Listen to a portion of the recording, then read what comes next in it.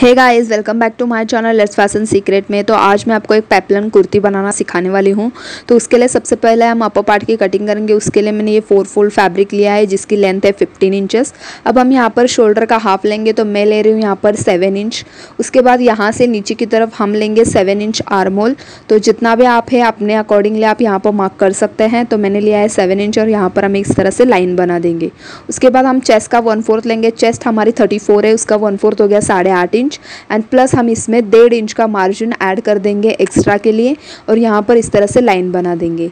तो लेंथ तो आप इसकी देख चुकी है टोटल पंद्रह इंच लेंथ है एंड ये चौदह इंच की बनकर रेडी हो जाएगी। यहाँ पर हम कमर का राउंड लेंगे तो मैं ले रही हूँ यहाँ पर सेवन इंच हमारी कमर है अट्ठाईस इंच उसका वन फोर्थ हो गया सेवन इंच एंड डेढ़ इंच का मार्जिन तो यहाँ पर इस तरह से ले लिया, इन दोनों पॉइंट्स को हम इस तरह से क्रॉस में ज्वाइंट कर देंगे एंड उसके बाद हम यहाँ पर अपर की साइड में आर्म होल का मार्क करेंगे।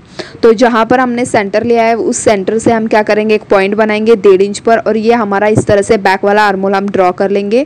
उसके बाद हाफ़ इंच अंदर की तरफ़ एक मार्क करेंगे एंड हाफ़ इंच बाहर की तरफ़ इस तरह से एक मार्क करेंगे। एंड इन दोनों पॉइंट्स को जोड़ते हुए हम एक आर्म होल ड्रॉ कर लेंगे। ये हमारा फ्रंट वाला आर्म होल रहेगा इस तरह से। अब हम नेक विड्थ लेंगे तो नेक विड्थ मैं ले रही हूँ यहाँ पर ढाई इंच अगर आपको ब्रॉड चाहिए तो आप तीन इंच भी ले सकते हैं। एंड यहाँ पर मैं ले रही हूँ सिक्स इंच उसकी लेंथ उसके बाद हम यहाँ से भी ढाई इंच पर एक निशान लगाऊँगी मैं अभी यहाँ पर। और यहाँ पर हम क्या करेंगे, एक बॉक्स बना लेंगे ताकि हम जो भी इसके अंदर शेप दें, वो इसके अंदर आए एंड प्रॉपरली कट हो सके। तो यहाँ पर मैं सिंपली राउंड शेप दे दूँगी इस तरह से। एंड ये फ्रंट एंड बैक दोनों के लिए मेरा सेम रहेगा। यहाँ पर मैं हाफ़ इंच की मार्जिन से एक स्लांट मार दूँगी साइड में, इस तरह से। तो ये हम यहाँ पर कंधे का तिरछापन होगा। अब हम यहाँ से लेकर यहाँ तक यानी इस तरह से नीचे तक इसकी कटिंग कर देंगे। तो आप लोग देख सकते हैं हमने यहाँ पर इस तरह से इसकी कटिंग कर दी है। अब हम इसमें से एक पार्ट जो है वो साइड में कर देंगे। ये हमारा बैक वाला हो गया। एंड ये जो पार्ट है, यहाँ पर हमने इसकी फ्रंट के आर्मोल की कटिंग नहीं की थी। तो सबसे पहले हम यहाँ पर आर्मोल कट कर लेते हैं। तो इस तरह से मैंने ये फ्रंट वाला आर्मोल कट कर लिया।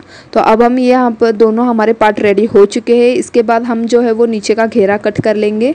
तो इस तरह मैंने ये फैब्रिक लिया है, जिसे मैंने इस तरह से फोर फोल्ड किया है। नीचे पूरा हम राउंड घेरा यहाँ पर निकालने वाले हैं। तो यहाँ पर हम हमारी कमर का वन फोर्थ लेंगे तो मैं ले रही हूँ यहाँ पर सेवन इंच ठीक है? तो यहाँ पर इस तरह से हमारी दोनों साइड फोल्डेड है। फोल्डेड साइड से हम मार्किंग कर रहे हैं तो यहाँ पर मैं सेवन इंच पर मार्क करूँगी और हल्का सा राउंड शेप देते हुए यहाँ पर इस तरह से ले लूँगी। तो ये हमारा सेवन इंच कमर का जितना राउंड है, उसका वन फोर्थ हमें लेना है। यहाँ से इसकी लेंथ है थर्टीन इंचेस तो थर्टीन इंचेस पर मैं क्या करूँगी? इस तरह से लाइन बनाऊँगी, यानी कि नीचे का घेरा जो है वो हमारा थर्टीन इंच का बनकर रेडी होने वाला है, यानी कि ट्वेल्व इंच का बनकर रेडी हो जाएगा। हाफ़ ऑफ़ इंच हमारी मार्जिन की सिलाई में चला जाएगा। तो यहाँ से भी हम थर्टीन इंच पर इस तरह से निशान लगाएँगे एंड ये पूरा राउंड जो है इस तरह से रेडी कर लेंगे। तो जै, जैसा कि आप लोग देख सकते हैं हमें हमारा पूरा ये राउंड जो है वो इस तरह से थर्टीन इंच का बनकर रेडी हो चुका है। अब जहाँ पर हमारी मार्किंग है वहाँ पर उसके ऊपर हमें इसे डार्क बना लेना है इसके ऊपर हम इसकी कटिंग कर देंगे। तो इस तरह से नीचे का पूरा राउंड घेर जो है वो आ जाएगा।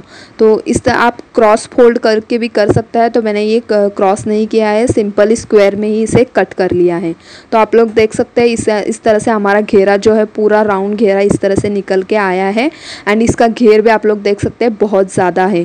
तो इस तरह से ये नीचे का घेरा हमारा कट हो चुका है। अब हम क्या करेंगे स्लीव्स की कटिंग कर लेते हैं। तो स्लीव्स के लिए इतना फैब्रिक बच गया था, जिससे मैंने फोर फोल्ड लिया है। इस तरफ़ स्लीव्स की आर मोल लेंगे सेवन इंच एंड डेढ़ इंच का इस तरह से हम मार के मार्जिन ले लेंगे। एंड इस साइड में स्लीव्स का ओपन रखूँगी पाँच इंच एंड यहाँ पर भी मैं डेढ़ इंच का मार्जिन लूँगी। और इन दोनों लाइन को मैं इस तरह से क्रॉस में ज्वाइंट कर दूँगी। ठीक है? इसकी लेंथ जो होगी वो फोर्टीन इंच इसकी लेंथ है स्लीव्स की। यहाँ पर मैं इंच पर इस तरह से मार्क करूँगी नीचे की तरफ़ इस वाले कॉर्नर से। एंड यहाँ पर दो इंच की मार्क से इस तरह से लाइन बना दूँगी। एंड जैसा हमारे स्लीव्स का कर्व शेप रहता है, वैसा शेप हम यहाँ पर इस तरह से दे देंगे। एंड इस मार्किंग के ऊपर हम एज इट इज़ कटिंग कर देंगे। तो इस तरह से हमारी कटिंग हो चुके हैं। तो अब हम स्टिचिंग करते हैं तो सबसे पहले हम नेक रेडी कर लेंगे। तो यहाँ पर हमें क्या करना है, इस तरह से नेक की पट्टी निकाल लेनी है, डेढ़ इंच के, यानी यहाँ पर इस तरह से उसके ऊपर सिलाई लगा देनी है एंड पट्टी को अंदर की तरफ़ फोल्ड कर देना है। तो इस तरह से आपको फ्रंट एंड बैक दोनों पार्ट में इसी तरह से आपको नेक रेडी कर लेना है। तो आप लोग देख सकते हैं, हमने यहाँ पर नेक रेडी कर लिया है एंड ये हमारा बैक वाला पार्ट है, इसकी भी नेक रेडी कर ली है। अब हम यहाँ पर शोल्डर ज्वाइंट करेंगे तो यहाँ पर हम शोल्डर्स इस तरह से हाफ़ इंच की मार्जिन पर शोल्डर पर सिलाई लगा देंगे एंड जो भी एक्स्ट्रा फैब्रिक दिख रहा होगा वो हम बाद में कट कर लेंगे। ठीक है? ये वाला एंड ये वाला इस तरह से। तो इस तरह से हमने शोल्डर यहाँ पर ज्वाइंट कर दिए हैं। आप लोग देख सकते हैं जो एक्स्ट्रा था वो भी हमने यहाँ पर कट कर लिया है। अब हम यहाँ पर स्लीव्स ज्वाइंट करेंगे। तो स्लीव्स की एक तरफ़ आपको क्या करना है? इस तरह से डबल फोल्ड करना है यहाँ पर एंड स्लीव्स की जहाँ पर ओपन रहेगी वहाँ पर एंड उसकी फिनिशिंग कर लेनी है। उसके बाद शोल्डर के सेंटर पर स्लीव्स का सेंटर इस तरह से रख देना है। एंड पूरे राउंड में स्लीव्स को लेकर सिलाई लगा देनी है। तो एज इट इज़ आपको दूसरे साइड में भी कर लेना है, इस तरह से। तो यहाँ पर भी ये स्लीव्स अटैच हो जाएगा। तो आप लोग देख सकते हैं हमने यहाँ पर स्लीव्स अटैच हुए हैं एंड यहाँ पर इसकी फाइनल फिटिंग भी कर दी है। जितना हमने मार्जिन लिया था, उतना मार्जिन हमने माइनस करके यहाँ पर इसकी फिटिंग कर दी है। तो इसे हम सीधी साइड को टर्न कर लेते हैं। ये कैमरा डिफेक्ट की वजह से आपको थोड़ा सा कलर चेंजेस दिख रहा होगा बट ये सेम कलर है फैब्रिक इसलिए।